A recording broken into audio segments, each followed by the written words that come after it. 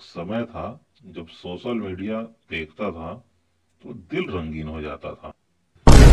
आज गुस्से से कुछ और ही रंगीन हो जाता है।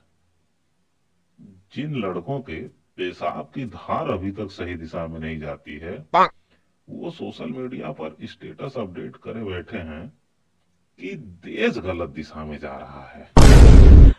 भाई साहब, स्टेटस देखते ही आधा ढक्कन खून आँखों में उतर आता है